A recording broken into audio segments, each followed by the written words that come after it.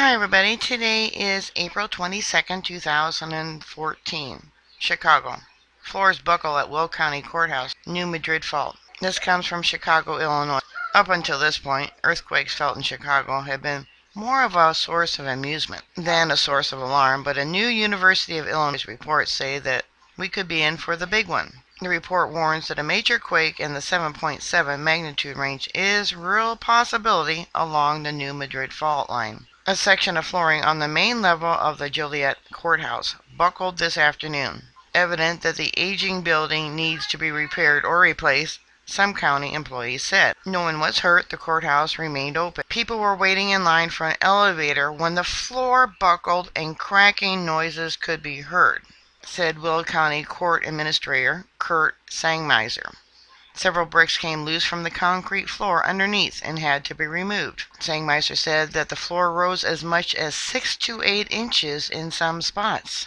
Courthouse officials plan to have a temporary fix in place by Wednesday morning and have a structural engineer inspect the floor to ensure nothing else was amiss, Sangmeister said. I think it speaks of the age of the building, said Sangmeister.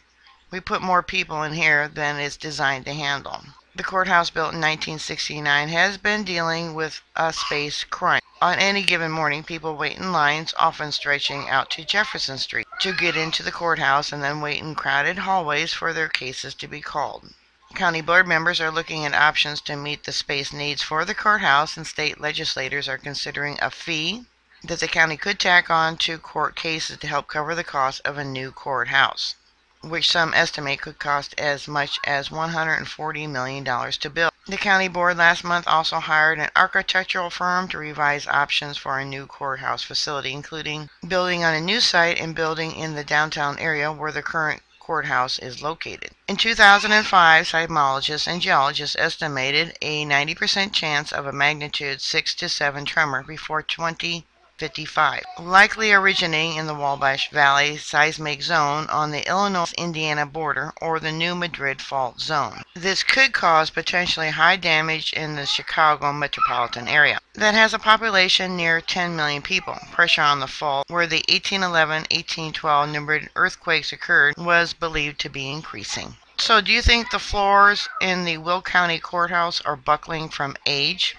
It was built in 1969. Or is it from the buckling of the earth getting ready for the new Madrid fault line to erupt? Put your comments down below. Bookmark my site. I'll keep you up to date. Please stay safe. And I'll talk to you there. God bless you. Bye.